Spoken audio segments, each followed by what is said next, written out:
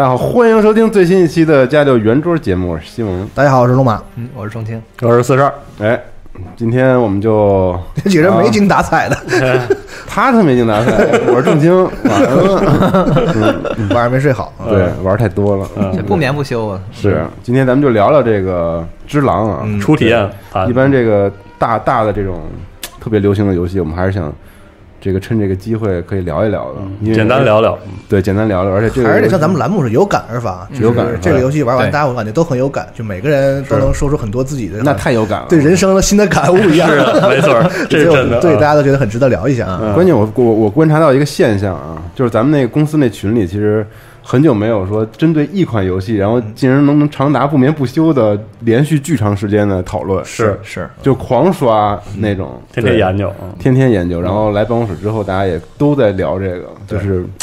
不停，所以每个人都有特别多想说的可能感受吧，嗯对，嗯是。但不是从何说起，我是真不敢说，因为说实话，我现在进度你到哪儿了？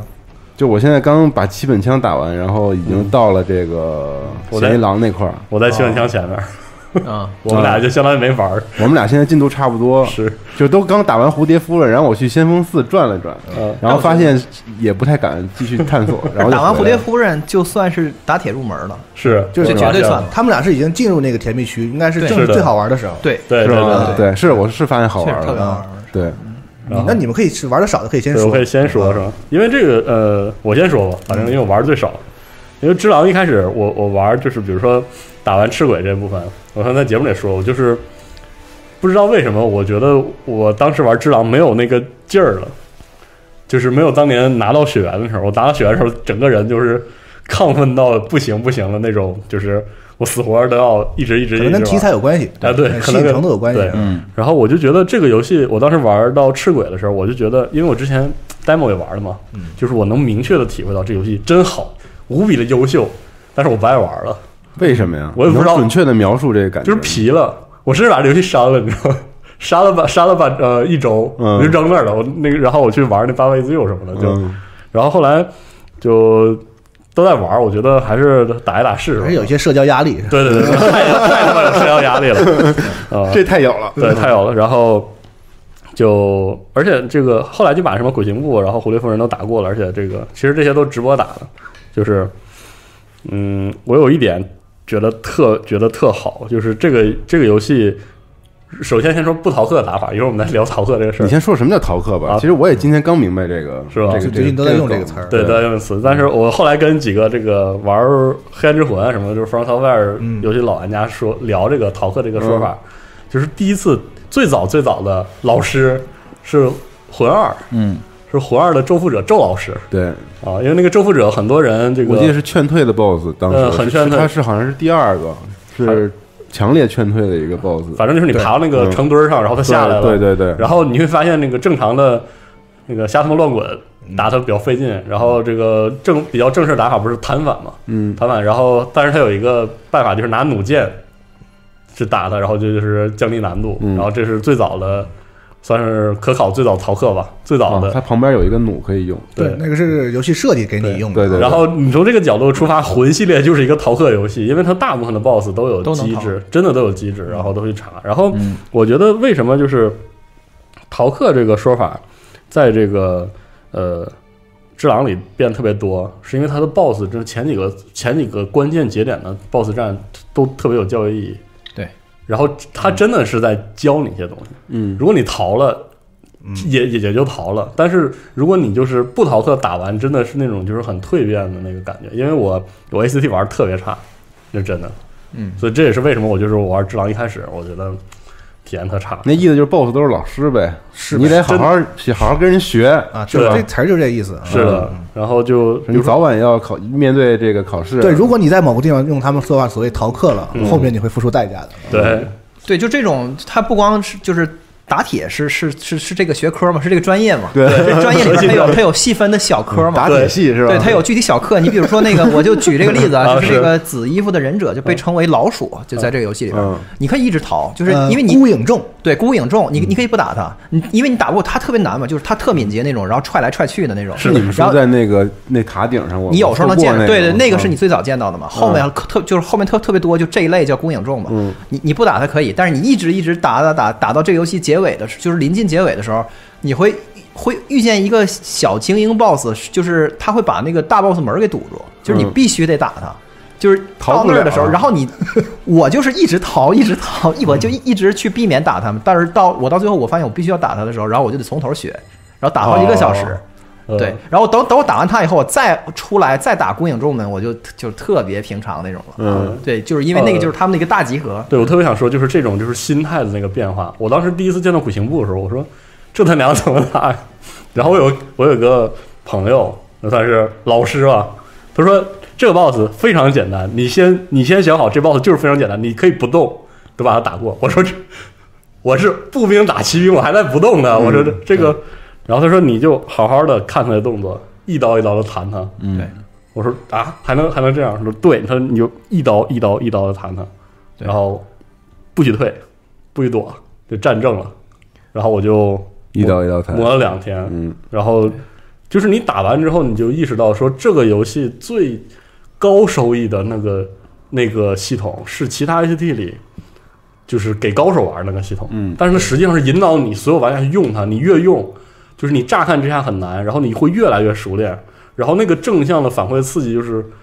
无与伦比，就是很难想象。就是我可能放在我打打鬼影部之前，我都不敢想象我能这么玩这个游戏。嗯对，但是我最后就是打鬼影部打完，我都都没砍他，一刀也没砍他，就生生把他砍死了。然后我就就是弹死了。对我说我这游戏就一瞬间就不一样了，这感觉特别好。我觉得是，嗯，而且现在游戏特别难给这感觉。就而且你俩打过这蝴蝶夫人，我感觉就是一个就是魂游戏戒毒所。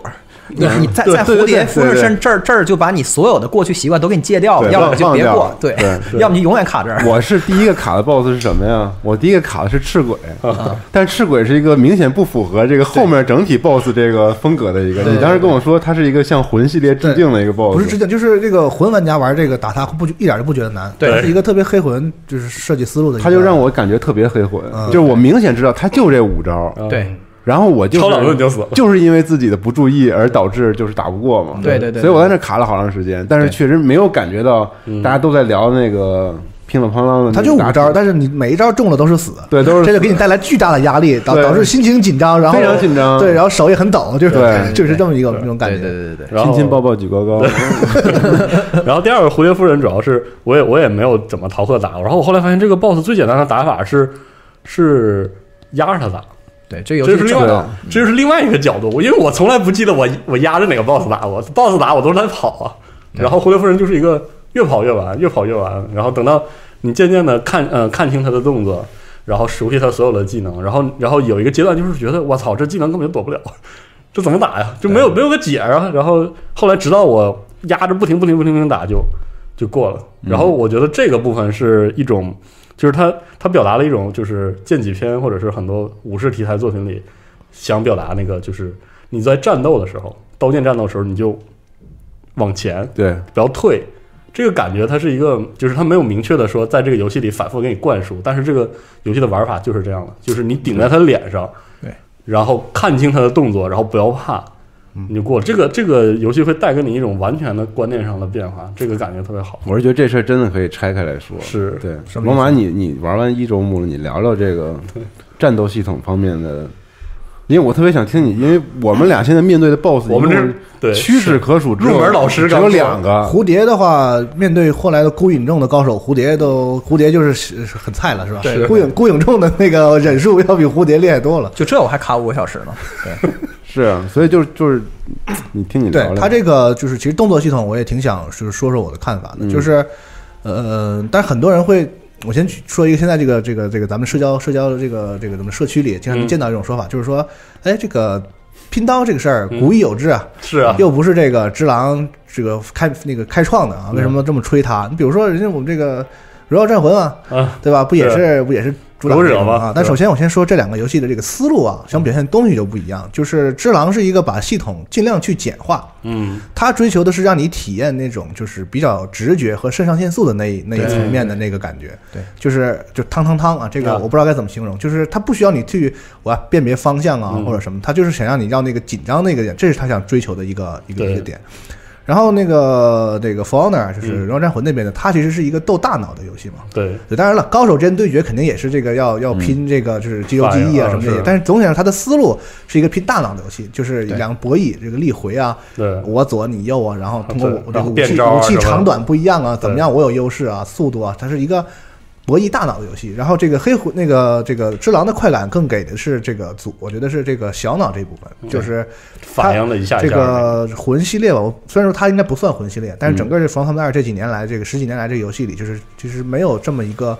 呃，强调小脑功能的一个游戏。嗯。之前老大家老说回合制这个动作游戏，就是它讲到的还是策略，对策略和控制，找到方法，就像你说逃课这个事儿。对。对其实除了这种用弩这种就是很很很极端明显的故意给你设计的这种控制以外，其实游戏中因为它有法术啊，对，有各种各样的东西，比如说血缘有枪反啊，嗯，当你找到了一个捷径的时候，你会发现，就是你对。我我很难说这是逃课，因为就是这是游这是游戏给你的是给的玩法解，而且它支持你、鼓励你这么玩。对，各种远程武器啊，各种法术啊。是的，你像《黑魂一》里这个咒术前期很强的时候，嗯，咒术本身就是一就是逃课学，对，咒术用好了，这游戏你都逃过去了，对对对，是，就到这个程度，所以他是鼓励你这么做的。但是到《智狼》里，他反而是就是。很集中的，嗯，他可能鼓励你去观察地形啊，嗯，暗杀也可能稍微可以降低点难度，但是你终究还是他鼓励你要学习这个游戏中最核心的这个战斗系统。嗯。对。嗯，那我觉得他这个战斗系统的一个就是和以往动作游戏最不同的点，就是刚才其实四十二有已经提到了，就是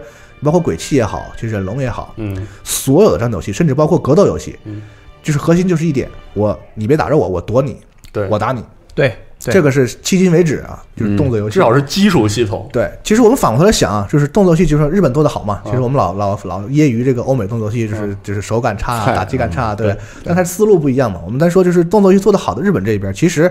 无外乎这么几支儿，就是卡普空系的，嗯。就是包括白金嘛，这不都一支儿出来的嘛嗯，对吧？然后这个世世嘉世嘉这条线上的，啊，甚至包括这个这个这个托库摩，其实是世家系出来的一哦个一个格斗格斗体系啊。对。基本上就是能做这个的就就就就就很少了。你说嗯什么光荣做的无双什么的，也天天被揶揄说是养生游戏，根本不是动作游戏。对，所以就是世界上能做这个东西的本来就少。对手一会儿，对，所以其他就是次一级的去学习动作动作游戏的时候呢，大家学的就是就觉得说啊，那鬼泣啊、魔女啊这些似乎就是最王道的动作游戏对。对动作游戏做的最好就是这样了。嗯，他把大家的思路固化住了，对就是我躲，你有一条血，我有一条血，看那我躲你，你砍我，我砍你，看谁先把这个血砍没，然后就是剩，这是动作游戏的全部了。有些有些动作游戏会以那种所谓的前后摇，比如说他他这一招有有比较大的硬直，然后我我抓这个点，还有像一些比较极端的白金这种，就是先有闪避后天嘛，对一切系统都是闪避触发嘛，对对，甚至是闪避人的核心系统，对对。要模拟时间这些，对。对。然后只狼的这个特点就在于它完全打破了这样一种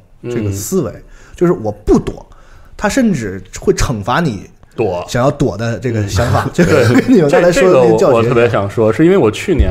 呃，因为阿斌和这个系统忽悠我，然后再加上忍龙黑那个重新上嘛，啊，对。其玩了一下。实其实忍龙那个基础操作其实就是以滚带走，然后它实际上是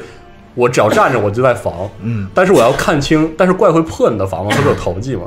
然后围绕着这个，但是实际上它的本质还是躲闪闪避为主的这种避战，就是呃，利用你怎么样不会被打到，比如无敌阵，对对对哪，些动作是无敌的，哪些动作可以破对方的这个硬直啊什么是的这些啊，是利用这些的。然后，只狼这个有意思就是地方，你发现很多敌人特别强力的招数，你可以用你的攻击打断他。对，就是那个威出来，你你就第一反应是我操躲躲躲，但其实这时候你只要你只只需要砍他一刀，对你要做的只需要砍他一刀。对，而且跟他跟题材也有关系，就是这里边没有那个特别克苏鲁的东西，他就是你对方也是忍者，你是忍者，对方一度我以为要有了，不是就是 后来没有。就最夸张的就是你会发现你，你打时间太长，就当你死的变数足够多之后，就是一些不常见的对方的动作你也会见到。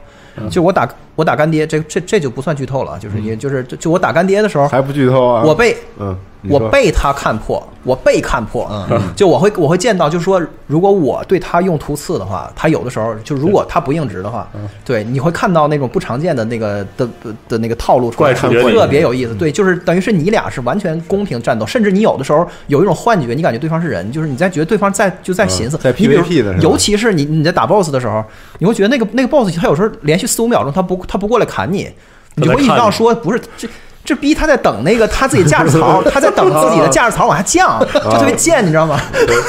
就有这种感觉，对。对，所以我觉得这个动作系统它远比看起来嗯的，因为它非常非常简单，对，超简单，真的非常简单，而且就是基本上所有人一看就懂，嗯啊。但是呢，它其实我觉得就是不能说它本身有多少深度啊，嗯就是它意义很大。对。我觉得算是打开了一个思路，就是说大家所有做动作游戏不一定要学鬼泣，嗯。因为这两个游戏发售这么近，对。鬼泣算是最老牌、最传统的那个走到极致了，那画面啊什么的，对大家觉得好玩。然后只狼一出来说，我可以不这么做，对对这特厉害，这个很厉害，因为在这之前，其实这个黑魂三代里啊，咱先不说血，黑魂三代里就是。呃，我比较质疑宫崎英高对于这个游戏玩法的这个这个变化这个功力吧，嗯，因为一和三是他自己亲自做的嘛，对。其实，在一和三在比如说 PVP 上，嗯，或者是在这个就是各种武器多样性什么各种设计上，其实其实这方面二是最好的。对是，啊，二是最好的。二虽然我对他其他有些地方有些微词，但是其实二是非常好玩的。对。对它对于这个就是这个所谓这个魂这一系列的这个，在这个既有框架里，我怎么能让它变得就是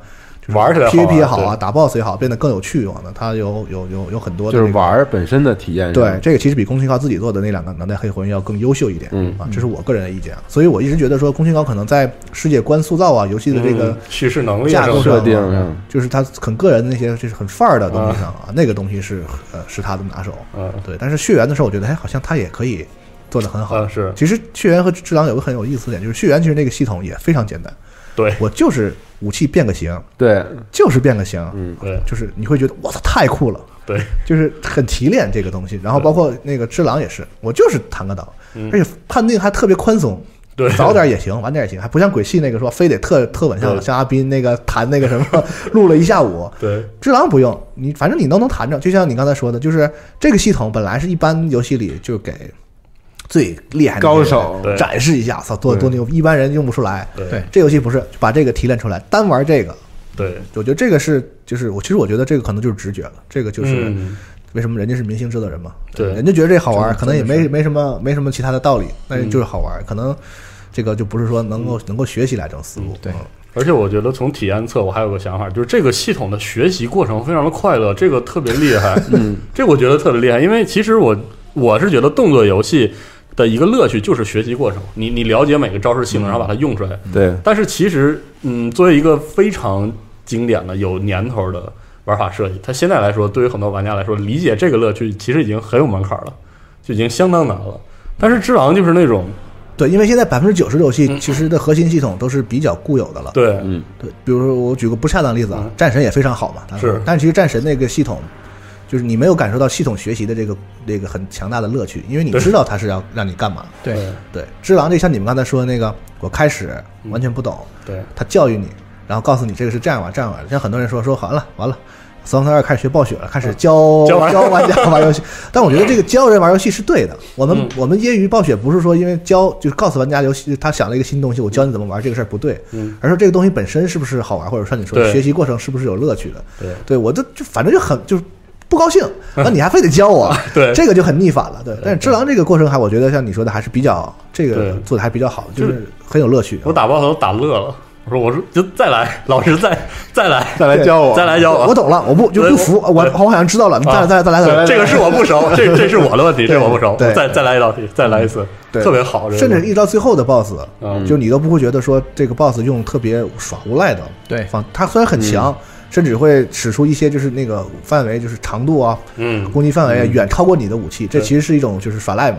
对。但你会觉得说他依然做出来的是人类的动作，对对对。对对，然后你打不过他，你你会觉得操，我有点菜。你能打断因为你发现你可以学好多招，你也可以做出很多很牛逼的动作，而且而且而且只不过打的过程中，你用你你想不 想不起来。你不够熟练，你知道，你不够能够完全控制你这个武功强大的主角，而且是那种感觉。而且他这种，他就是宫崎英高最牛逼的是叙事嘛，他这个叙事这个东西也都渗透在他的这个动作啊战斗里这个玩儿是哇操，这种感觉你知道吗？打到最后的时候打，就是就是打这个最终大 boss 的时候，就是你会你发现你就是你也受到他的影响，因为你你你身上就有他的招式，就到最后你会发现有这个问题，就是说。就是很多东西是你非常熟悉的东西，嗯到到就到最后真的是有一种毕业期末考试的那个感觉。你打到最后跟 BOSS 惺惺相惜，你觉得 BOSS 在尊重你，你也在尊重他你知道。我玩到那哪儿？就是打那个，就就是什么嫌疑狼之前，嗯不是在他那个阁楼顶层有一个那个他们叫馆长那个人嘛？啊。就是他是一个伪名流的一个啊。特别厉害的一个高手。一个高手啊，拔刀术那个拔刀术那个。对对对，然后那个人的特点就是他特别菜，其实。对。他血非常弱，而且他因为攻击力特别强，所以他那个弹刀的那个反馈是特别有效，就是特别回馈是特别对，长得特别快，哎。长得特别快。但是他那就有一特点，就是他就是拔刀那拔刀术嘛，快嘛，就你必须要特别快的摁两下，摁两下，对对对。然后，你唯一能够抓住那个点的，只有他那个拔刀那一瞬间，他亮一个亮光，嗯，然后这个昨天晚上给我的体验，整个那个 那个就是整个自己内心的这个波动啊，嗯。是特别牛逼的。我到最后我就感觉，大哥您就您请，就是对来，咱们再过再过招一次，再过招一次，你教教我大哥，你好好教你，很尊重我，他很尊重我，对事实就他就跟那坐着嘛。对我每次出来就回去找找老师练练。对就是我觉得牛逼就是之前从来没有过，之前我每次觉得黑魂里的怪物，我都咒骂他们。对，就我觉得他们特别傻逼，他们耍赖啊！对什么那些石像鬼，凭什么你打着打着你喷火啊？黑魂黑魂是这种感觉，让你用一那个个很不就很很小兵儿，这也没什么道理就在一般游戏里，就是比如说无双里，你是那个大大将，就无数的招儿，完小兵被你无无数的砍。然后在黑魂里，他那个要的体验就是你是那小兵儿，对，然后你要去打那些以往被玩家控制的那些特别特别耍赖的那些东西。克苏鲁嘛，不可名状。但是我觉得这次设定其实虽然说想象力可能没有那么的天马行空，但是我觉得它塑造了一种，就是你与敌人之间平等，特别平等，而且你并不是。就是你们之间没有是。是是落差，是。就是你尊重我，我也尊重你，所以确实是很快乐的一个过程。就是这个游戏让我真正意义上懂得了，就是我以前看，比如说这个剑戟片儿，或者是那些武士题材，包括我们的武侠，就有一些那种客客套套的装逼话，之前就是觉得就是装逼嘛，嗯。就是我刚才说的，说为什么要说句参上，sen 又为什么？嗯，包括会会说什么您次招这样的话，我当时觉得妈的，你这些高手是就是他妈矫情，但是实际上你玩起来就是这个感觉，你就觉得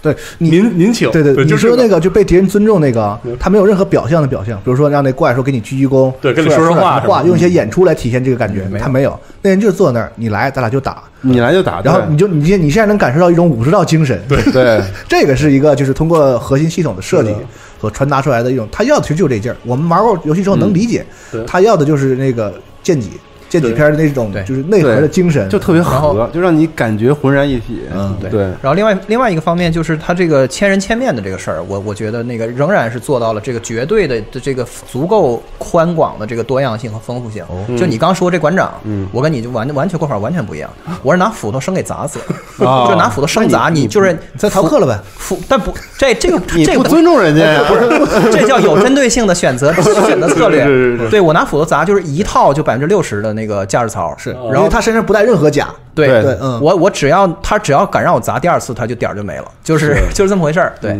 就是因为就知道他的那个他的刃非常差，嗯。是。他对他而且你发现就有一个特点，就是比如说像你遇到那个什么七本枪这些，在以往的游戏里我们会遇到一个打不过的，就说那个对。操太难了，特特别特别难过不去。这回说七本枪这类的敌人的时候，大家会用一个词儿，哇，那好厉害！对对大家会说对对对，大家会说 七本枪那看那大哥太厉害了。对，我自己老这么说，最近我说他好厉害，我操对，，你不打了你。不会觉得他耍赖，或者说他在哪儿就是，你就会觉得说，我操，人家那武功怎么那么高？对对对人家枪怎么玩那么好？对，对对对对，这是一个呃，怎么说，在设计上很很精妙的一个一个地方。而且你能感觉到自己就是自己慌的时候，你甚至会有一种灵魂出窍的感觉，就是你别慌，就是跟自己说自己别慌的那种那种那种状态，就你嗯。你别抖，因为他就他就那些招儿，你你还是要仔细的去观察，就这种冷静的格斗感嗯，这种无可啊是的。对，就是无可避免的的格斗，你怎么着都不行，你必须得正面的去，甚至你一定要去压制他，就是你别的都就就无可可逃，你就是必须就是必须要去面对它。嗯每个 BOSS 战从这个被摁在地上打，然后然后逃，然后一边逃一边看，对。然后看试着去架，然后到把然后到架的过程中，他突然变了个招儿给你杀了。我说哎，你还有这招呢？然后到第二次能架住这个招儿，对，然后再架住所有的招儿，然后过了。你知道你刚刚说这感觉就是，就是因为我我玩了没有几个 BOSS，但我觉得可能也有几个小时甚至十个小时时间了，嗯我感觉可能啊。所以在这个不长的时间里面，我有一个特别大的感受是什么呀？就是说你咱们不是都说见几篇嘛，嗯然后都说自己是这个这个角色嘛，这个英雄，就是他跟就是我觉得它跟传统的游戏有什么最大的不一样？嗯就是它的戏剧表现力完全不通过任何表演，对就完全不通过任何游戏给你塑造的 过场来等等。虽然它有过场，嗯，但是你人物你你最后达到了你自己跟人物合二为一的那个感觉，它过场都是文戏，就是大家说说话，表现一下剧情就对嗯，所以就是这个东西是玩家自我成长带来的一种戏剧表现力。嗯哎，我跟你说，这个是真高，真高，就是不是讲故事，嗯。不是别人给你讲，是你这是真的游戏自己去参与到角色里，就是把点儿加在玩家的脑子里，而不是加在人物身上，然后而且他人物也没加点儿嘛。对，然后怎么他怎么实现这个？我觉得第一就是这设定很有关系，因为剑戟篇嘛，他是一个他是一个忍者嘛，嗯，其实无非我觉得，即使我们把那些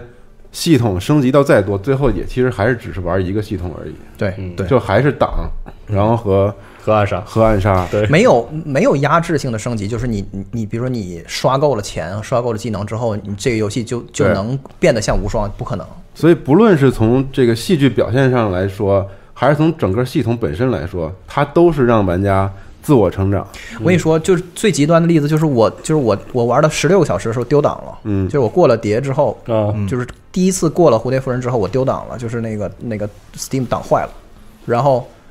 根本想都没想，啊就是、就是重开一个新档，然后当天晚上一点钟，就是三个半小时就打到了是我十六小时的进度，对，就是你的感受，哦你知道，就是对，就刚打完十六小时，然后就是一秒都没歇着，然后从头打。第二遍就只需要三个小时，就你就就，但是你并没有觉得就是这个游戏变变水了，或者是你玩的东西变短了，就是因为你理解了这个游戏的机制嘛。对啊，对这种感觉。反正它给你的刺激，它可能不像嗯鬼泣，因为你学招嘛，你买招嘛，对，你会用那个招，那个是一个外在对你的刺激，然后你买了，你想学，你你想去练，你想练，你想学，对，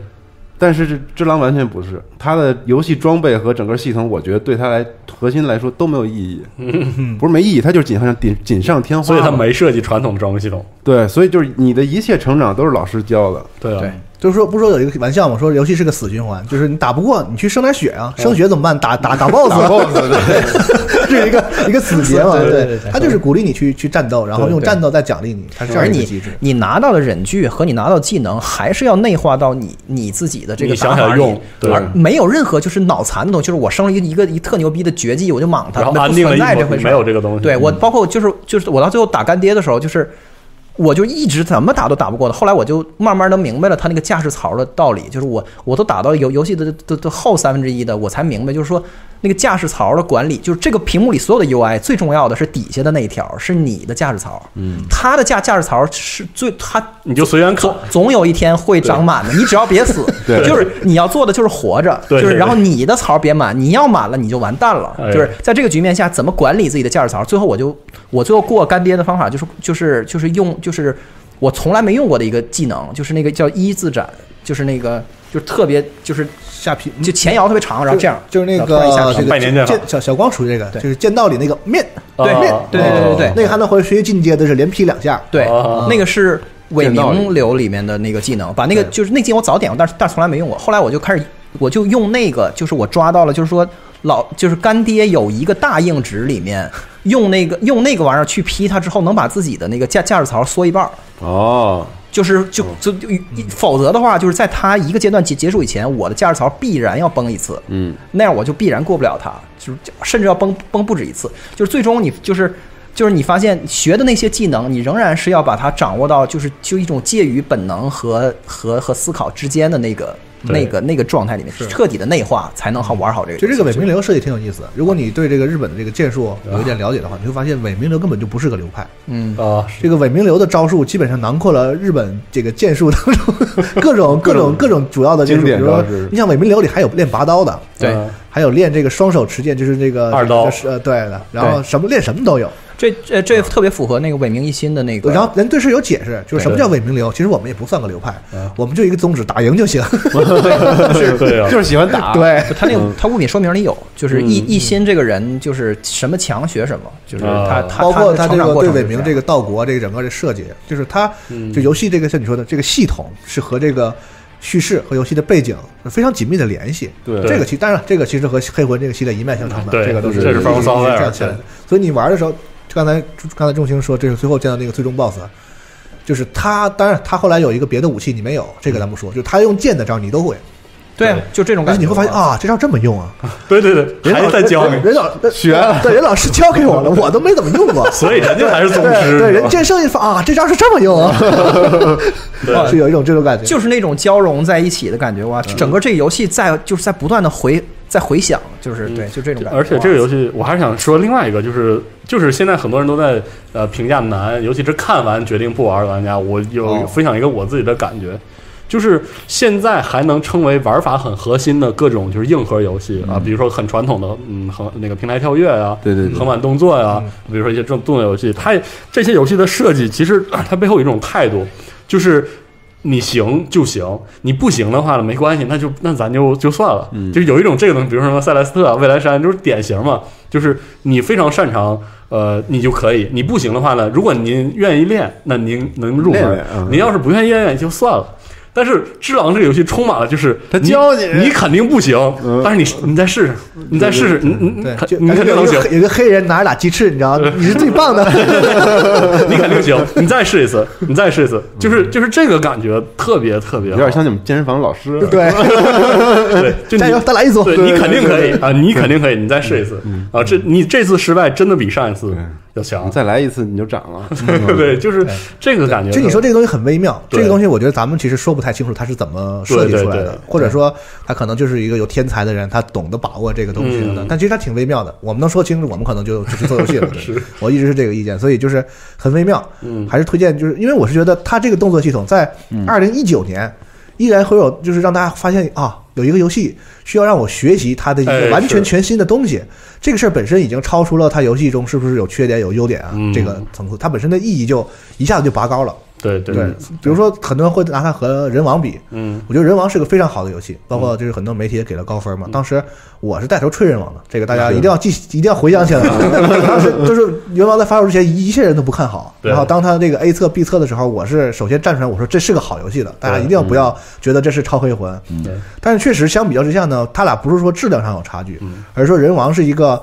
在既有已经大家懂得怎么玩的一个既有设计思路上，对。啊，兢兢业业、勤勤恳恳，然后把完成度做得很高的这样一个游戏，嗯，而只狼不是，只狼的就是另一个方向高明高明的点就是它完全是新的东西，就是嗯。我老说这个创游游戏的创新这个事儿应该是加分项嘛，对。对，但是我觉得只狼这个加分项实在是这个就是附加加附加题加答太多了。附加题答的太好了，就是就可以而且破格破格录录取了那种感觉，而且别忘了，人家是可以不加的，就是人家不是说就是我必须要做新东西，我魂就是魂这个东西供不应求到，你现在你就你你就是还是原来的机制，你再讲个别的故事，大伙儿一样就是一样买，一样是市面。上魔幻黑魂的游戏，只要质量还说得过去，都卖的都卖不都还可以啊，就是他可以讲，就是他可以就是继续做自己最拿手的事儿，就是用碎片叙事的方式给你给你讲一个那个新故事。但是他就是他做到这个之外，他远远超出，就是他可以可做可不做的。他嗯他他把核心机制又又这这都不叫翻新。我觉得我觉得只狼的这个动作系统的复杂和他战斗的这个这种丰丰富性。就是可能比血缘和和魂要要要高高几个，我觉得他就是嗯架了几量级，他架了自己的招儿，嗯捅了之前的一把，你知道吗？因为我觉得完全，我个人体验不知道对不对啊，嗯就完全是反的。因为哦之前讲究的是位置控制，对你的你的你的你的这个控控制走位，然后控制防御，对。然后控制与它之间的距离，这是一个漫长的，，在黑魂里就是真的是使就是用大脑就是狂盾反啊，对。嗯光着屁股乱滚呐，那都是高手专门用用对玩的像我们这种另外就是弱弱弱手对。就还是得用之穿前穿着重甲拿着大盾，我跟你说对，就是首先就是魂魂魂是那个就是奖励防守，这很明显。就是我操打魂的时候，就是你拿了那个就是那个抵抗力高的那个大大那个那个大大型盾之后，你你就完事儿了，这游戏就就这么基基本结束了。对，然后另外就就是另外就是如果你你你就是你假设咱做实验，就是拿摄像头就录这个玩魂的人的手柄，打魂 BOSS 的人的手 APM 很低，和对和和打只狼的人手柄，看到这俩游戏的那个那个风貌就就彻底的就暴露出来了。打魂的时候最高频的操作是什么呢？就是左摇杆拉住后，右摇杆拉那狂摁翻滚键，就是狂翻滚，一直翻滚到一个巨安定的状态，然后喝一口然后然后喝一口果粒橙，这就是然后然后然后再来就再来一把，完了又他妈一顿翻滚，然后就是他有安定的空间，这把你试试，这把你试试，就这把你打 BOSS 的时候，唯一的安定就是向前。对，就是正面，就是压制对方，这是唯一的。小五不是说说什么找到了什么打什么什么什么猴子的安定法？我跟你说，这个世界上最安定的事就是自己学了本事。当你真正真正就是就是残酷了真正自己这个水平达，就是你感觉到自己有提升了之后，这是最安定的，因为它它是它是你身体里的东西。对，像我第二我玩二我玩二玩就是一周目玩完之后，我是一周目玩的特别仔细，啊就是杀过了所有杀无可杀，玩了五十个小时一周目。舔光了是吧？对，然后进到二周目，我现在是就是打的那个特效，就是基本到了游戏后期没死过。学会了长本事。对，就是可能用过那个就是那个粉豆的那个复活，哦但是我没有掉过掉钱或什么的，没死过。嗯，那太神了。这就是你，就是对完全不逃课，因为我知道，比如说这个我能暗杀他一管血，嗯我不，我就我要好好打两管正常打你两管血，啊就这样打完的一周目。到了二周目之后，嗯你很如尊重他如履平地。当然二周目我也没没敲钟，也没交符嘛，就正常二周目难度，就感觉如履平地。就他一他一抬手，我都知道他要干嘛，就是就这样过来主。要是那种豁然开朗的感觉，确实 点儿都加自己身上所以你知道我都当时怎么怎么怎么怎么感觉吗？就我我仿佛感觉到，就是宫崎英高和北纬他们嗯可能在办公室里琢磨这事儿的时候，他们就把魂的那几个关键词都写出来了。对，然后这边空着怎么办？就是要把这些全砍。要颠覆这些东西，要全都反着来，这你看他砍过就是你要是跳开跳开来看这游戏的话，就是你你想他从魂上身上砍下来的东西都吓人，砍的东西太多了，我操，对，没有物品，嗯，没有 build，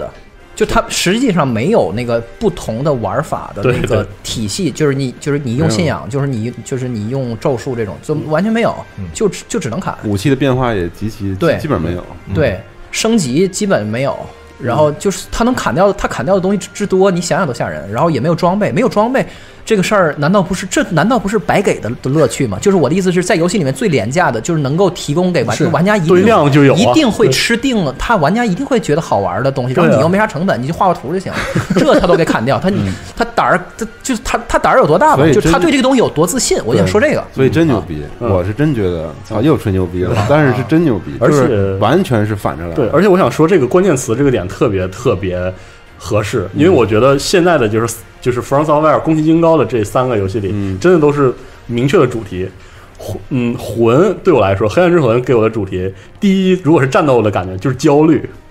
对，第二就是孤独。就这个游戏就就是我觉得魂的战斗系统放在黑魂里有意义的根本原因，是因为这个笨了吧唧的系统强化你的孤独感。嗯，就我我怎么渺小感。对，就描对对对我他妈怎么这样？然后然后我在看那个，比如说那些红的那个血印的，别人在那折腾，还有我召唤人，大家一起这种笨拙那种感觉，他就是他强化他那个叙事，就是你在黑魂里三代黑魂里扮演的都是一个 nothing，对对对，你微不足微小到一个就是你自己都看不起自己的那个你程度。能改变世界唯一的原因，就是因为你是不死人。所以所以也特合理，对也特完整。然后然后血缘给我整个战斗或者整个体验给我的那个感觉就是疯狂。对，就是那个战斗，其实我感觉到不是愉悦，我我后来意识到，就是我就是疯了，因为他砍了我一刀，我当时的想法就是我笑着砍回一刀，嗯，就是这个感觉，整个血缘就是全部都是这个感觉。而到了之狼，我觉得就是说的特装面，就是那个禅意，武者那个禅意，我打 BOSS 打到最后心如止水，我从来没有 ACT 对 BOSS 战就是打成这样我一点感觉没有。我说您您再来，再再来，嗯。我很我很喜欢里面有，我就不说具体哪个角色了，就是这这他整个这个角色其实是一个很很就是不是不算主线的一个故事吧，但他和这个主角关系很紧密这么一个人，嗯。我就很喜欢他这个游戏里对修罗这个概念的这个塑造。嗯。但你玩通关你就知道，就是这个这个什么叫修罗，对，嗯。就是这个游戏最后，因为你你对。对你你中间应该已经玩到了，就是嗯。他特别特别特别轻描淡写的，嗯。展现了一个就是被修罗，就是堕入修罗道，然后就是。是自知道自己想要就是还想要挣脱，但是作为一个就是怎么说武者，他注定的杀戮的宿命。对。挣脱不了这个修罗的命运，这样一个一个一个一个好像知道一个一个简简单的故事啊。我我周围所有人聊的时候都说这个游戏真的有禅意，嗯，就是那个劲儿你玩进去了之后，就在那个打铁声之间，当当当之间，他在游戏第一第一个五分钟的时候就告诉你了，当你第一次拿到那你那把刀的时候，那个刀的那个名字嘛，对。告诉你那个刀的名字就是说慈悲的意思，啊，就是你用这个刀之来了之后，要你要记着你要杀，你会杀无数的人，但你一定要记着这个，就是让他说禅这个杀戮中的慈悲之心。那我理解不到，反正，但是我我 就是我我觉得这种这种感觉还是挺东方的。对啊，就是就是叙事这件事情里面的那个，就是重要的部的部分，就是就是人们总是把 plot 当当成 story，就是总是把剧情或者是就是显性的对白或者这种转折，所有的 twist，他们认为就是说把所有的转折和所有的对白堆在一起。就就叫叙事，叙事。但是你就是有这种想法的朋友，你就玩玩 From Software 的的的游戏，你就知道叙事比比这个东西多出多少。这个东西就简直就是占了这个叙事里面很百多人那个分之十都不到。关注度会关注在它的所谓的碎片叙事，是的。对，那个也不是。关注在场景叙事，就是说比如对我说的都不，甚至都不是那个。对我们甚至说，其实我我我经常说说这个这个《The Last of Us》嗯。是我比较赞手的一个，就是这个这个 gameplay 叙事，对，就你我操太赞同了，大哥，太赞同你的观点了。你在这个玩的过程中，对你培养和他的感觉，就是他你的感情是在被游戏培养出来的。对，所以最后你对那个小孩儿，就是你对那个小女孩的那个情感是完全可以带入到那个主角当中，而且是爆炸式的。但你刚才说的那个，就是你觉得是武士道精神在这个这个智囊里，我看他都已经不是一个就是通过 gameplay 去叙事了，嗯，他在通过 gameplay 传达一种就是若有故事，那个你说那东西其实也不是故事，他在传达一种氛围，就是气氛不是，是我与我与游戏之间的那个交流，那个交流和连接。对，在其他的游戏当中，可能是他告诉我对。怎么怎么样。他要，通过很多文本去跟你说，哎，他要讲故事了，对。他要开始演电影了，对。哎，是吧？嗯。那个大镖客，咱们之前聊过这个问题，对。对。但这个游戏不是，嗯，我去演啊，寡言少语，对，嗯对，别人所有的演员都在配合我，就是不是我看的别人演，是我自己在演，就是而且我从头到尾，我的心和导演想告诉我的体验也是一样的。对反而这种东西我能记忆的更深刻。我觉得这游戏啊，就是游戏又又操，说回本质了啊，游戏本身的真正叙事，我觉得是靠靠体验的，对，而不是靠不是靠吸收，不是看电影的，是对，对吧？就甚至是说对虽然我之前很喜欢电影叙事的游戏，小岛我也觉得很牛逼，嗯对但是这个我觉得真的是游戏本本身你不觉得这个区这个最最终的区别在于，就是你玩完了一个你就是你说前面那种游戏之后，你会觉得这个游戏真牛逼。嗯，你玩完《只狼》，觉得哎，我好牛逼啊！对你觉得自己牛逼，对就很多人说，就觉得说从这个游戏里悟出什么道理是很可笑，嗯但其实我觉得从某种程度上也不太可笑。就你刚才说的那种，像说咱们刚才说了很多这种心境，从游戏里有禅意啊，什么对对次元里的疯狂啊，我觉得这一点都不可笑。这个其实就是游戏在真的玩的这个部分涉及到一个程度之后，嗯好好传达给人，因为你参与了，你就是在这其中，对。所以你这这些所有这的感受都一点都不虚假啊，这是很高明。所以我昨天有一个心情可以跟分享一下，有一个场景，就是你去先锋寺的时候，中间会遇到一个电梯，那个机关的那个木梯子，然后那是我在游戏里好像玩到现在为止啊，唯一一个可以把视角转过来好好看看狼的脸的，嗯，哦就离得很近嘛，因为它是一狭小空间嘛。我看那张脸啊，我内心竟然有了那种特别澎湃的感觉。哎呀真帅。我说这个太帅了吧！是就是他整个人物的性格和他的脸，就是完全其貌不扬。是，但是你觉得我操，我是他，太帅了，因为那个对话里经常会有人这个就是这个就是这怎么说吐槽一下他的那个面相，对，就是说你那个眉头老是锁那么紧，是要干嘛呀你啊？对然后就是，但是当你有机会真正看那个脸的时候，你会就是从那个脸上确实能看出点好像就是这这个人内在的一些东西的胡子拉碴的。但是因为那个时候可能我们的连接更深了，我就觉得。我我很庆幸自己，就我很我很荣幸啊就我是我能扮演扮演演这样的一个角角色对，对，嗯，而且说到这个叙事的那个感觉，我觉得就是这从魂到血缘到这一步，它它的用就是表面上用的力越来越小，但是它那个就是暗地里的那个氛围，那个收敛那部分的力量是越来越强。嗯就是比如说魂黑魂，我第一个一代我第一次打通关的时候，第一次意识到他好像要讲那个事儿的时候，那种感觉是。其实相比之下还没有那么收敛，是推得很明白的，嗯就是那种孤独感压过来是很明白的。然后到了雪原，它是比较渐进式的，因为我我每次都想说这个，我先打了我先打了罗姆，我就已经没有罗罗姆之前那森林，我就已经先先受点精神我就他妈有点受不了。然后嗯罗姆我就觉得就卡了半天，我也受不了了。然后再回到教堂的时候，我第一次遇到那个亚米达拉，我就是啊第一次感觉到那个就是疯狂那个临界被你窗户纸捅破，砰一下，然后我再后来的遇到所有的场面时候，我就有一种疯了，对迷，就是已经疯了，对真的是疯狂的感觉。但是它是，你看这个比，我觉得它比魂更就是在在暗地里一些，然后等到只狼，就是它是完全都在暗地里，他就完全不明面上跟你讲任何东西，但是他还是能改变。而且我操，这么一说，原来人家玩的是这个。嗯，对啊，我操，太高级！现在把三个这么一一比，对他这么一说，一个是玩风，然后一个是孤独和玩玩孤孤独，对然后一个是玩禅意。对啊，就他特别好的抓住那个，就是可能就是你从系统到叙事方式到整个的，对它那个体验中一丝的东西，它要再把它放大了就是你要是你要是意识不到这 这些东西是一个东西的话，嗯，那么你就等于是还是没有 get 到宫崎高他就是他的作品，就是他这个东西不是他不是分离的，就是这就就就聊到这儿，咱咱就可以说说这个这个这个游戏的难度了。对就说说这游戏为什么不做个简单版？就他做个 easy mode，然后就让人就打就打一打就可以了。他为什么不能？在我看来是它简单这个东西根本就不成立的，因为这个简单这个是这个游戏的难和简单。就是你，你能不能莽小兵这个事儿，嗯它是这游戏的一部分，它不是它不是个单独的系统。现在的 R 对对对对 RPG 对和和这个大部分的动作的游戏，它是它是堆堆砌的，就是我这个系统是这个系统，别的游戏都已经验证过了。嗯我这个故事是这个故事，我我我导演和编剧也都 approve 过了，然后我们就把它生堆在一起，它是就就跟三明治一样，咔咔咔一层一层上来的。这游戏完全不是，就是就最最简单的，如果小兵可以莽过去的话，这个地图就没有意义。对，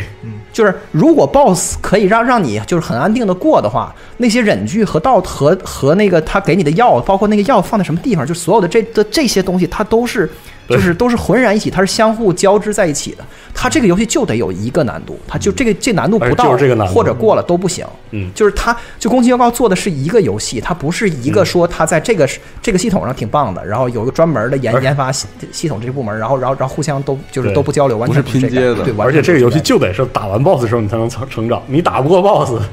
但是你看你打过 BOSS 要成长，你还是要打去，你打不过就要继续去打对。啊，你打过了才成长。对，包括包括那个小兵，我操，那孤影众，你单你单独打一个你都费劲，对，但是你就是你仔细观察，你你你仔细你你把这个城你把这个城池给它研究透了之后，就是你可以很安定的，就是一点一点暗杀过去，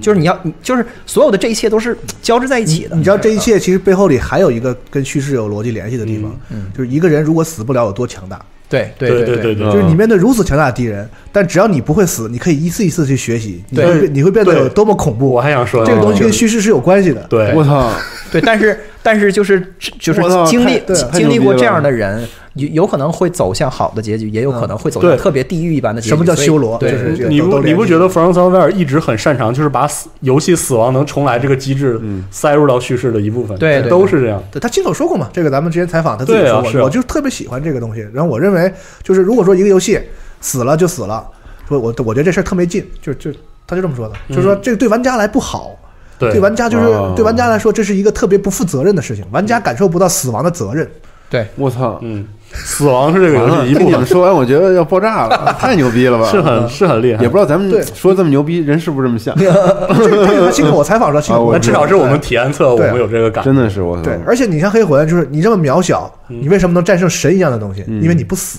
对对而是对，这个都是整个都是他连起在一起。然后你最终最终面对那个本质是一个你自己，嗯，你从不死者面对不死者，然后这个故事收住。见见天地，见自己，对对对 对，还是还是挺挺有高度的。他这个整个那相当有高度对，包括雪原也是，因为你一遍一遍的醒来，你也许是死了，也许你睡过去，然后你再醒来。就最后就会有这种结果。对玩家心情也是，就是我放弃理解你所有东西了，就是我就觉得这个沉浸在这个游戏里就是很好玩就得了。对这就是那种就是陷入这个杀戮欲疯狂中的那个猎人 嗯。有些人就是迷惑于就是这个我非要纠结一幅故事来，天天那个到底怎么了回学家，这个是另一种疯的方式。哎对对对对，还有一种就是我操太恶心了，不玩了。都疯了。对，这个就是这个就是这个就是一半退出来的普通人，是，就是对玩家本身就能反映出他游戏中所描绘的那个那个情景。就是玩家参与到叙事之中。嗯，这个是我觉得我也是觉得整个 Software 包括宫崎，这这可能我觉得是他个人的一个东西。嗯宫崎告诉他 就是游戏的一个特点，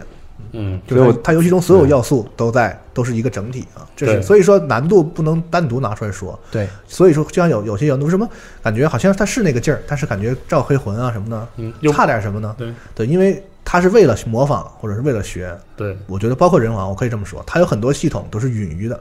它有很多设定都是和它整个的叙事啊都是割裂的。嗯。他的故事是一个战国无双式的故事，虽然加了一点鬼是。这个这个怪异乱神，对。对，是一个特别正的剧。嗯，然后呢，他他游戏整个的氛围呢，学黑魂嗯，导致特别割裂，对。对对，就是你啊，哦，就明白了，一个证据，然后那个场景弄的这个是黑不隆咚黑黑不隆咚、瘆人吧唧的，没有什么道就是。理。已有的东西的一个组合嘛，对就是就是组合和一体完全一个东西的这个区别。哎，那你不是学联通地图吗？哎，那个联网那联通地图弄的啊，这个极其复杂，哎，弄得还特别好。对，但其实你就觉得这个好像只有表面这一层，嗯，好玩是好玩，只有表面这一层，就对是缺了你每次玩黑魂之后的那种，就是你打通一打通每一代这个 From Software 游戏之后，你都有一种啊，对就，是那种面面向着一个就是什么场景的那样一种感觉。对啊，嗯，就是特别感谢能帮助这个这一套系列游戏，就是能如此成功到到达市场的这个。就是现在都甚至不想感谢宫崎英高，感谢因为帮助这种怪才的人。我对我之前想说就是。就是这个世代，之前我们会说哦，这世代有些让人失望。嗯，我觉得就是之前说这个世代很平淡，就是缺乏给玩家一个交代。但是你现在回头再看这个世代，就是有从了他们，从血缘到战神，从战神到只狼，然后再说，比如说任天堂有有荒野之息，这个世代还是有有货，伟大的作品给了玩家一个交代的，嗯，真的了不得，真是了不得。但是我都说到这儿了啊啊，既然我是这个就是也就是个这个带头吹的人，啊所以我在玩了这么多之后，我觉得其实这个游戏不是说完全不能挑出可以再提高的地方嗯啊。你比如说，我举一个例子，就是刚才你们说都砍掉了装装备系统嘛，对，就是当然只能算小的瑕疵，就是但是它对于这个地图探索的奖励没有处理好。嗯。对对，它以前就是我走一个很深的地方，我可以发现一些装备，嗯，我可以发现一个武器，装备贼好，或者是有特殊的哪怕它没有用，对。你知道这个之前咱们大部分都没用。咱们咱们新闻节目里说过，就是说为什么那个这个这个有的有就是那个这个说那个全境封锁，嗯，它这个处理的好，对。就我不掉材料，你说你掉一块布，掉一块铁，对，这个对玩家的这个这个心理是一回事儿。嗯，我就掉掉个玩意儿。就掉把枪，嗯，没用拆掉嘛，对。我也高兴，对对。你给我给我掉掉装备。对对对。所以这个黑魂就是，就是我不管哪个背面甲甲，我去捡了一套盔甲，嗯，就盔甲每个盔甲上都有一个文字说明嗯，哪怕这盔甲一点用都没有，嗯。百分之九十时候都没用。对。对，绝大多数都没用，包括那些那个副手武器，包括包括法杖什么的，它一模一样的。它那个那个它咏唱什么都是一模一样的。完，它数值还比那个最强的差很多，所以它它没有什么用。但是它文字说明，对它还有最重要的是，它这个东西在哪儿，就是你在哪儿能捡到女神的祝福。哎似乎有些意义，就是你，嗯。它充满了意义，好吗？我操！你在那个悬崖的尖，那悬崖的尖儿那块儿捡到一个什么那那有一个死人啊，或者是从他手里捡一个什么东西啊，东方想半天，对。对，包括在格温的门口，你还能捡到东西。我操，谁谁谁扔那儿了？他哥了，你就你想，就这些事儿，就是在你的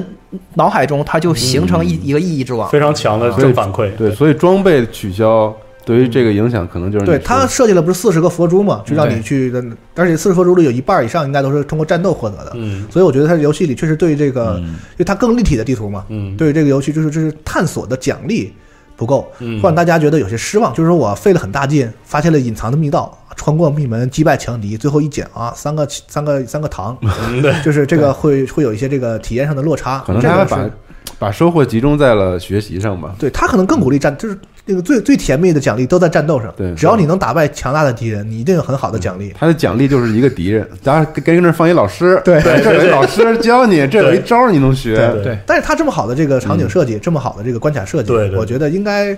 就是想想办法，怎么样能让大家更、就是更鼓励你去探索这些东西。我昨爬了半天，我这然后关卡跳死太两次好了，结果捡一陶片儿，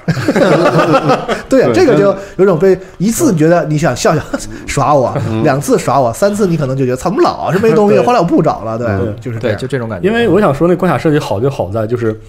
它没有硬性的，比如说像育碧有些游戏，它鼓励你用那个望远镜啊，然后观察然后观察，它也要观察。你总会来到一个新地图中，找个高的地方跳过去，不是因为那是一个什么那个信仰之约的点，不是因为能开同步，我就是想上去。然后我扫了一圈之后，我真的知道哪是哪，然后我就自己在想，我怎么过去？嗯，我不需要游游戏任何给我引导，但是我就在想，像一个忍者那样，像一个暗杀者一样去思考。对而他还能，他的关卡设计让玩家不管怎么想，都有那些道路，而且他都会给予你奖励。玩到那个铁炮阵在那儿了吗？对，那个就是对就是很弱小的敌人，两刀就砍出硬直，就就可以处处处决了。对但他通过场景设计，嗯让这些敌人体现出他的特点，包括那个敌人本身有叙事的，他他们为什么是使用这样的武器啊，嗯在这样的地方啊，对对对，场景设计，但是不夸了，就这个东西其实。呃，比起就是战斗系统那边的创新的那个来说，对对这个只能说就是水平高而已。是的嗯，它关卡设计确实水平高，另外就是，另外我不知道，因为我玩的是简中版，我咱我就我不懂日语啊，但是就我玩简中版来来说的话，我就我觉得文本照就就照原来差一些，嗯就是文本综合来说，就是那个物品说明，因为这个物品说明是是这个就最最牛逼的东西，在就是在魂和血缘里面，就是每就每条必看必琢磨的，嗯就是它这个经得起琢磨的这个程度要比原来略下降一些，嗯但还是有的，然非常好，还是有，还还是有他讲了一个非常清楚的故事，他对对他他就没有在那个你自己去当回学家的这个这空间。个在他之前的作品，就是每次你通关了，你都在想我他妈干了个啥？对对对，这个体验在《智狼》里就没有了，他是一个很清楚的故事，嗯他把那些干谜都留在很边缘的地方，所以我觉得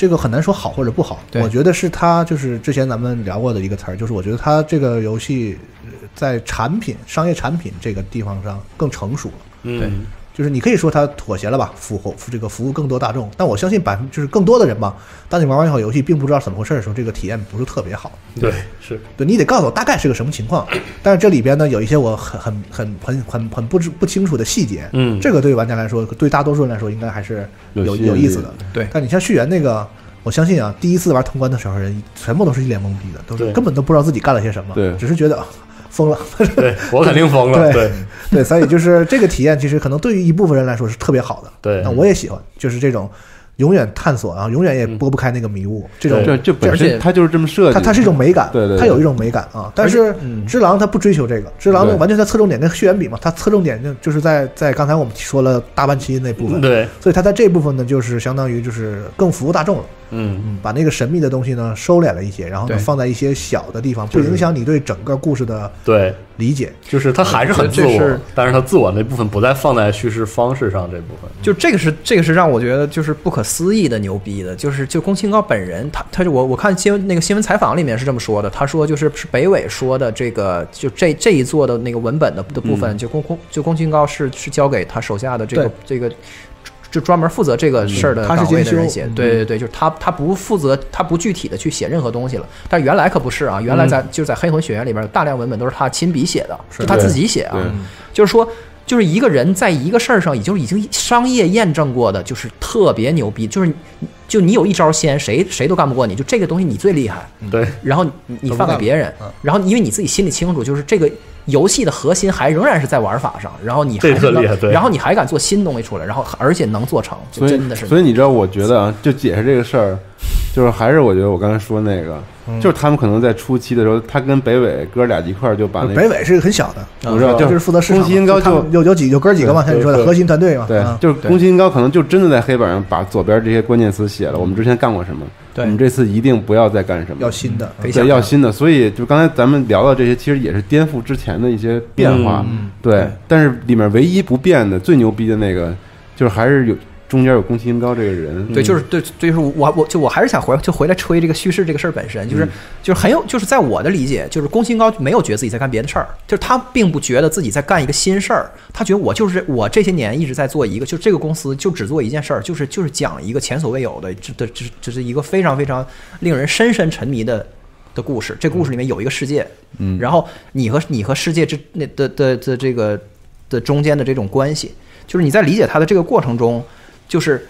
你你最后玩完，你的感受是在于，就是说那些就是惊人的翻转和那些哇哇原来哇他这儿钻出一个这个来，或者是他居然是谁谁谁，这些东西是多么的不重要。但当你真正在互动的，就是在互动的媒介里面，就是就体会到一个好的故事的时候，你会你会发现，就是那些氛围啊，包括那个所有的场景的所有的那的那些咱们总结不了的东西。就是最终加在一起，它是一个多么的完美的一个整体，嗯。就是这个整体性。们就说。只狼之前的游戏全部都是在讲世界，嗯，游戏是在讲世界的，他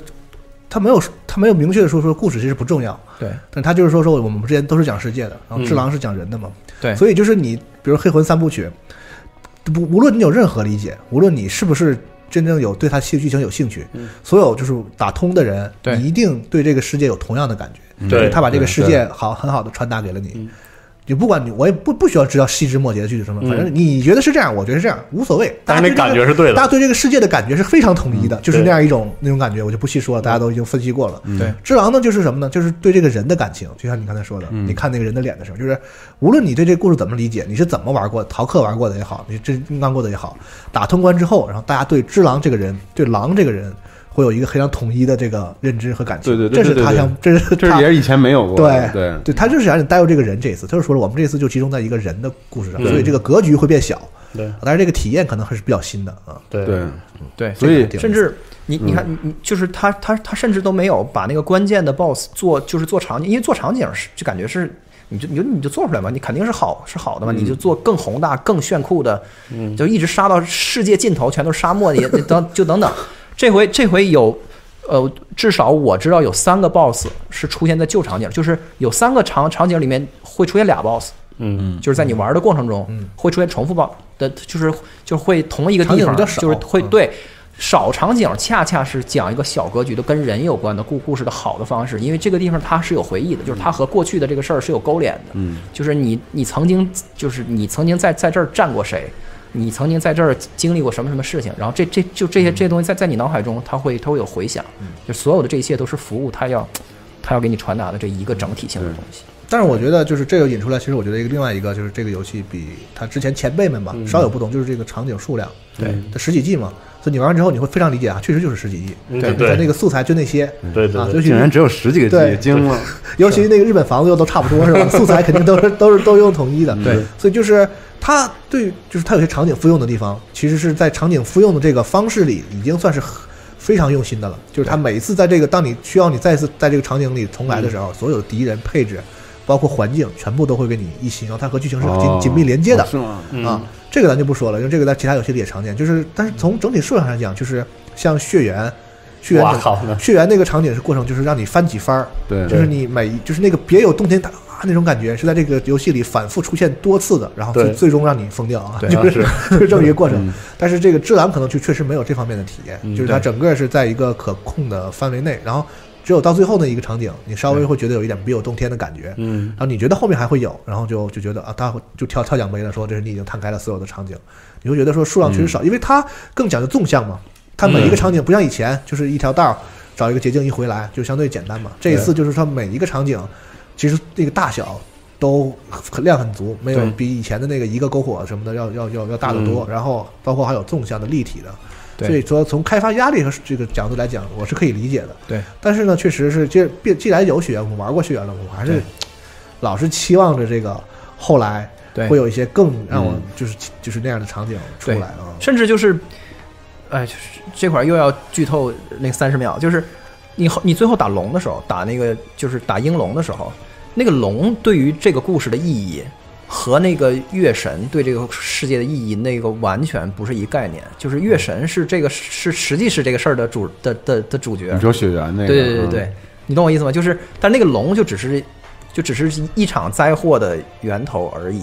就是最终这个这个事儿的关键仍仍然是你的你的皇子和你还有他重点都不在那儿，对对对对就是你在这样一个乱世之中对。的一个狼对。的故事啊，它就是一只狼的重故事。一只狼。重重点就在这儿。你玩完之后你就觉得啊，就是一只一只狼，一只狼。啊不管你是哪个结局，都是一只狼。啊。对对对对，包括那个，包括这个世界，它就是你伪民国是一定会灭亡的。我操，大哥了，你就是他的那个时代，就是就战国时期嘛，就它所谓一个国就是一个县，就是非常非常小的挑那个的一个。末期嘛，他对就是在这样一个背景下啊，你你肯定是要被灭了的。你而且它里边那个李，我我就就我感觉是不是是不是就是就指那个德指那个德德川家康啊？因为因为因为德川家康就就就有那个就有狸猫的那个外号嘛。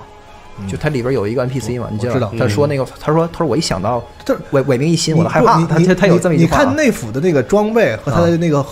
家徽或者什么的，对他都是一个就是这个末期德川的那个那边的一个变形。对对对对对，嗯所以就是这个国家是肯定会被灭亡的，就是所以就是就是宫就宫崎高自己最最擅长讲的故事，就是这个大大的潮流啊，就世界的大变迁是没有办法的。然后嗯。其中老有些人要就挣扎，没任何办，对对对对，但是 就是你你注定要输的人，但是你还要争，你还要就是一定要去拼一下，还要挣扎。对对对对，你拿命去就是去换一个你你所相信的东西。就这个故事就讲的这么一个小事儿，对就是你皇子怎么你咋咋怎么来抉择，其实大的事儿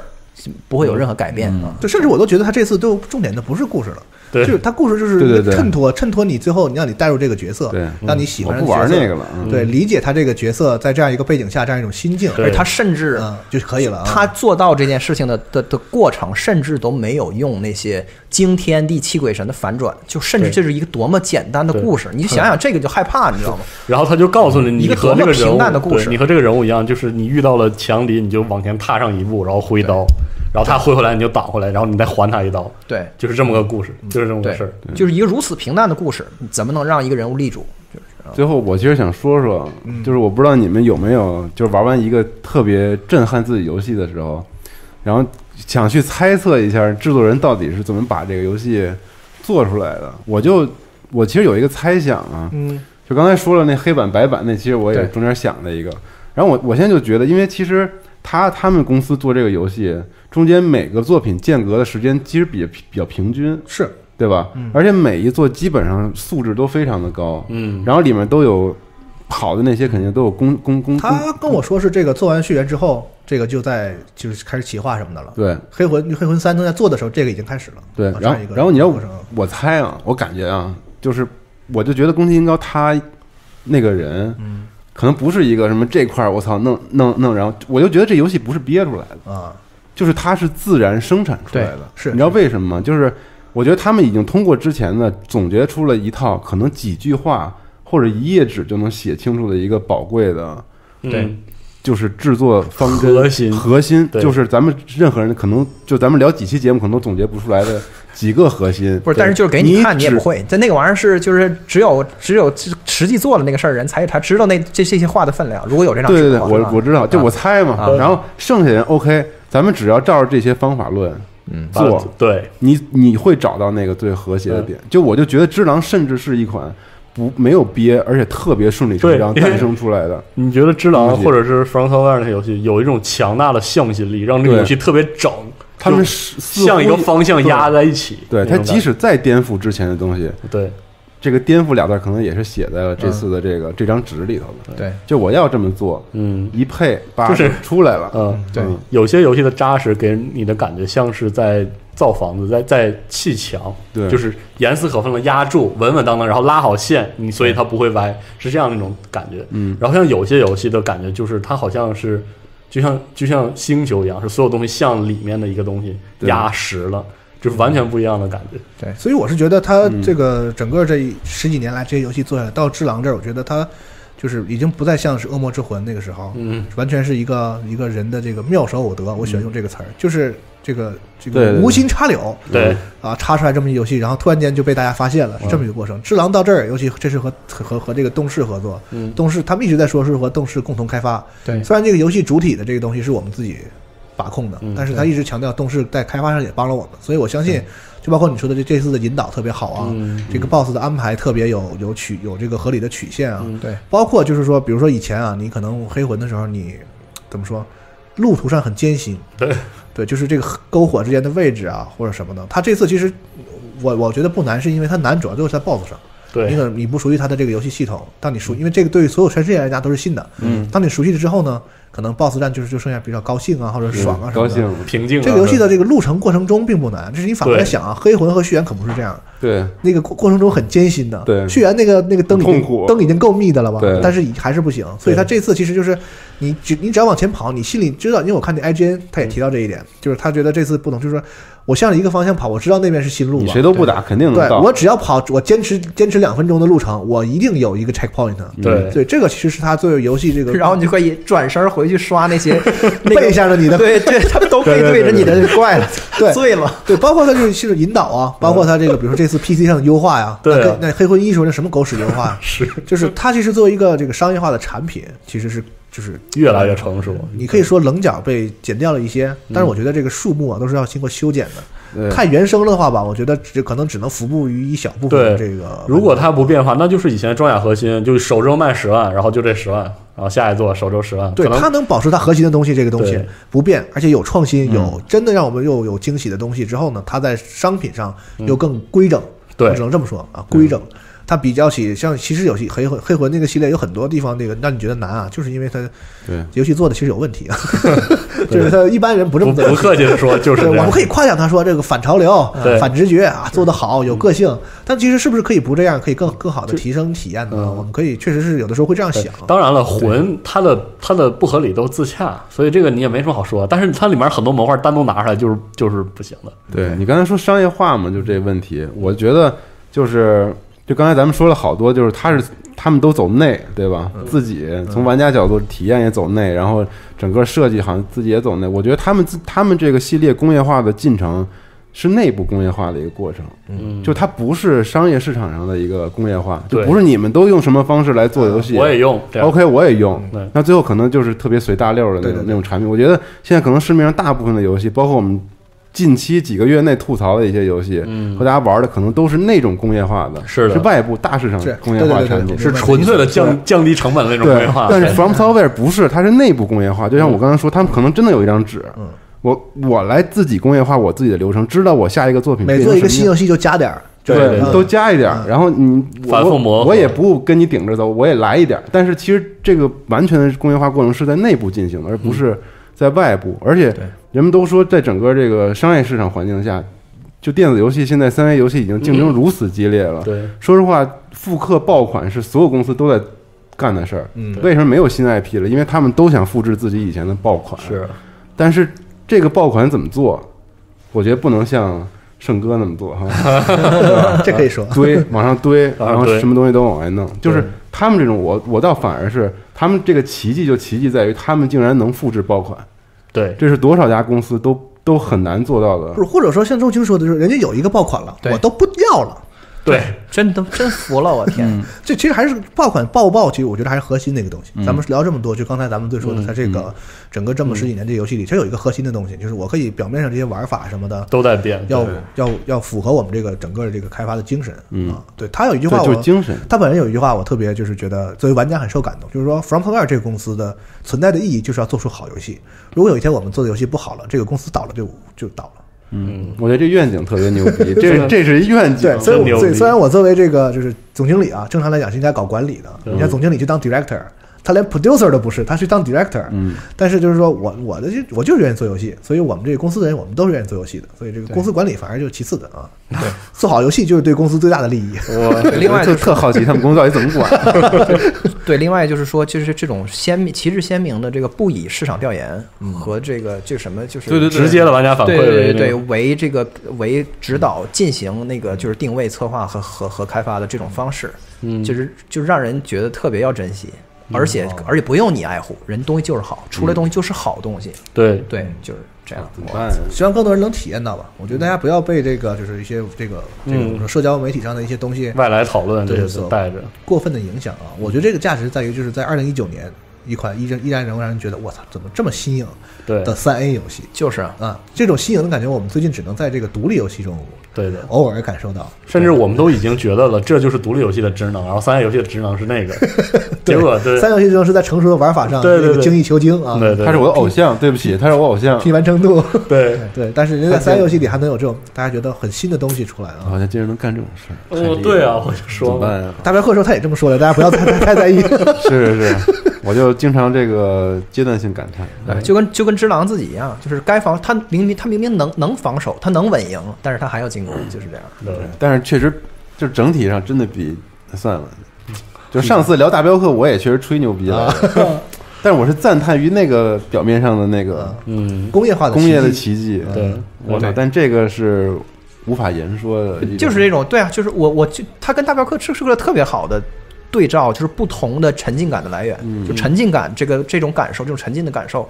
可以是不同角度去实实现和来自于他那种就是一个整体性的一个就是的一个处理，就是这种。怎么能有这样的人呢？对，嗯，但我，我还得说，这个事儿不能归结他一个人。对，他肯定不是这么多年，包括他这么这么一个优优优秀的场景设计，嗯包括你想说就打铁这个事儿，你想到什么，你你得实现在游戏里啊。对，对，这个判定啊具体到动作游戏的这个开发上，其实咱们就是动作游戏本身这个很事儿很难上，这个是咱其实这期期都没提，就好像说我想到打铁这个事儿，就一切你想想一切都成了似的，你想想根本不是这样。对，这个东西要是要是没做好，这游戏就完蛋了。对这个游戏就彻底崩溃了，就是一个非常非常脆弱的东西。是啊，啊。感包括就是要细调，它可能游戏规模变小之后，它所有精力都放在细调这个整个玩的这个体验。你懂我意思吧？就是就是大多数的的 RPG 是是它是能堆出来的，就是你比如说我这个系统崩了，我操，我别的我有数值啊，对我我然后我可以刷呀，我有装备，我什么我数值崩了。我可以改呀。对啊，然后对，就这种你知道吗？就是我不会把允许我自己置于这么脆弱的这个状态下，对，嗯这这这这也是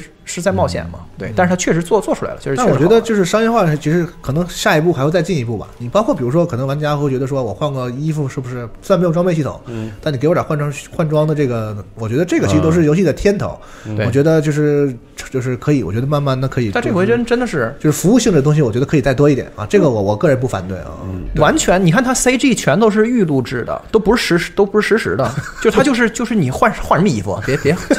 但忍者你就这个性格，你就是不能换。对对对这其实是玩家的乐趣嘛。你不换的话，大家自然会做 mod。其实这个这个是一个就是天然的乐趣啊。所以我觉得就是这个。商品化这块，我觉得可以不涉不影响游戏这个本质的情况下，尽量去服务玩家，这个是我的，我觉得很有意思啊。就是当时当时雪原出来之后的的感受，就是说他我我不能我不能想象他怎么能做得更好玩。你说血缘装备有个屌用，哎血缘装备有个屌用，但是对，就是为了帅啊这不就是是一种游戏中的乐趣吗？但是只狼玩完以后，我反倒觉觉得说他还能就只狼之后还能有你让我穿好玩的穿一回改孤影众？吗，对吧？这方面我觉得这个人王作为一款就是集就到处学的游戏，就比较对所有的游戏建模我都做了，我都让你都能幻化成这个人。嗯然后后来第一天出这个功能之后，大家都说怎么没有女性角色？一个礼拜之后，女性角色上线。对，这是服务服务服务性游戏。绝对 有态度，对啊，真的是。行吧，嗯，时间差不多了。好嗯，感觉没聊完，其实没聊完，还对好想聊，我操。对这个游戏，你录之前我们其实这这次是没有任何什么提纲什么的。对对对，然后西蒙还很担心说：“操，这不能瞎说。”一会儿聊聊着聊着就起劲对，我了。说放心，这个游戏绝对打不过的。真是好，对嗯，希望在评论区里大家多互动吧，哎啊，都聊一聊有什么看法。没错，嗯，对行，那勇敢的咱们上吧，嗯，对，咱等们为为民国见。希望他有个 DLC，大家肯定都没玩够。嗯，他们说不是不做吗？没说不，就是暂时还没有提上日程啊。哦回答是这么回答的，但具体咱们在干嘛？是啊，对，可能在做什么某某款机甲游戏。哎呀，嗯，反正确实还有，我觉得还有很多挺多想聊的，我们就是时间不够哎，。最后的最后啊，就是嗯我就我就说还是想说一句，就是很多年前我说过一句话，就是我永远不就是不是很希望 From 二去老去做什么续作。对，是的，有很多人说去期待《血缘二》，你玩了《只狼》之后，你还期待《血缘二》吗？不期待，对吧？之前我相我真挺期待我相信他们的现在大家都很期待《只狼二》，我相信他们下一款游戏一定会也会让你忘掉 《只狼》，这才是好游戏公司。对对对但是他有二，我也不怕累，我也对 我肯定玩，肯定玩，肯定玩啊！嗯，行快乐。嗯，嗯，那就这样呗。哎嗯，以后有机会再聊。哎，再聊，拜拜。拜拜。拜拜。